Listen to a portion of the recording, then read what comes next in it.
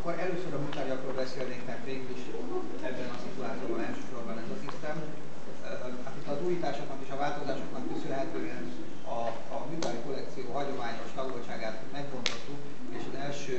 nap végére kerültek az ezüstkételeink. Elég változatosak, tehát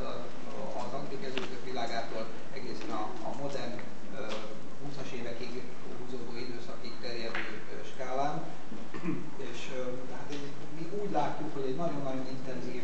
érdeklődés, növekedés övező mostanság az ezüstöt. Ez elsősorban talán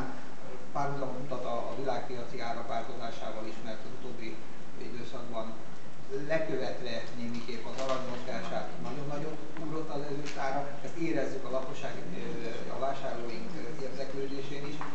de, de hát tulajdonképpen azért, azért továbbra is megpróbálnánk a kvalitásra összpontosítani. Az ezüsttárgyak közül mondjuk egy antik és egy modern tárgyat kiemelve a, a, azt a, hát egy ilyen, a kapszulás kávéfőzők elődjének mondható Brandner asztali kávéfőzőt emelném ki, ami, ami nekünk már a megfejtése is, hogy melyik funkció hogy működik, elég sokáig tartott, már lehet, hogy csak a mi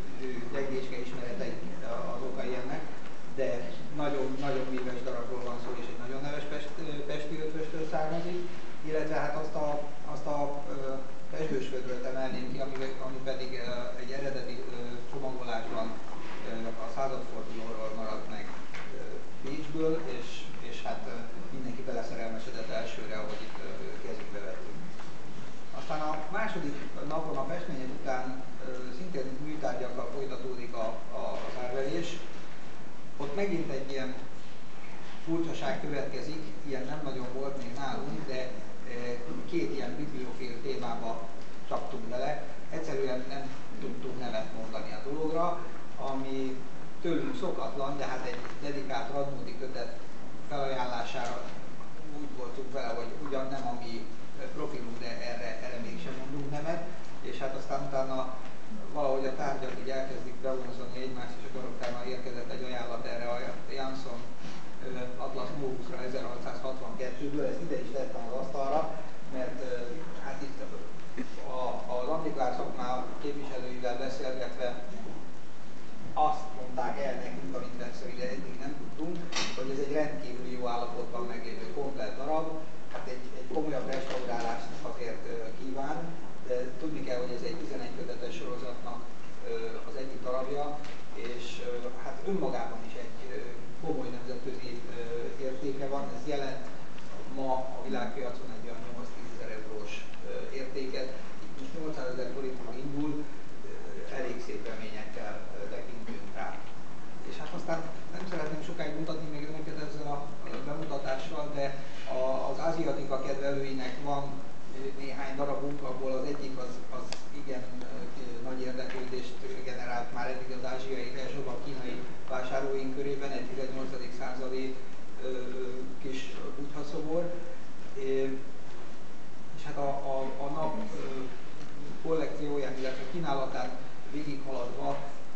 a, az árás ugye a zsolnai, tehát azt már annyiszor ragoztuk, hogy arra most külön nem hívnám fel az figyelmét, viszont előtte gyönyörűek, de fölhívnám a modern kerámiákra a figyelmet. És, és azon belül is elsősorban most a Gorka kerámiákra, mert, mert ott egy olyan kollekciót sikerült uh, megszereznünk, és hát itt most bemutatni, illetve majd elárverezni, amit a, a magyar kerámia gyűjtők körében úgy, úgy, úgy egy, egy nagy felhorgadást ö, okozott, hogy ez honnan van. ez sikerült, és ö, hát mindegyik ö, darabra külön-külön most itt kezdjük összerendezni az érdeklődőket. Úgy látjuk, hogy, hogy ezekre elég nagy csata várható.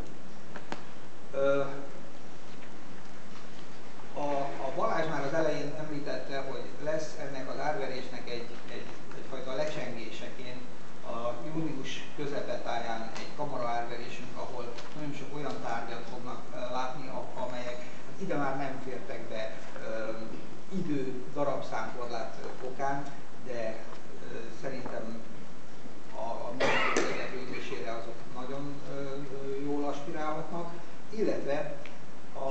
a még az ebből a hétből hátralévő programokra szeretném fölhívni a figyelmüket, ami hát tulajdonképpen a szombati távlatvezetésekről szól. Három ö, ö, vezetés lesz, a, a festménytálatot Tóth Móra kollega nem fogja vezetni, az ékszerekről a, a Lukács Erika kollega nem fog beszélni, és a műtárgyakról pedig én ott egy kicsit talán több idő lesz megbeszélni, vagy szótejteni külön-külön is a tárgyakról. Az árverés az pedig, hát ugye, ahogy, ahogy már az elején elhangzott,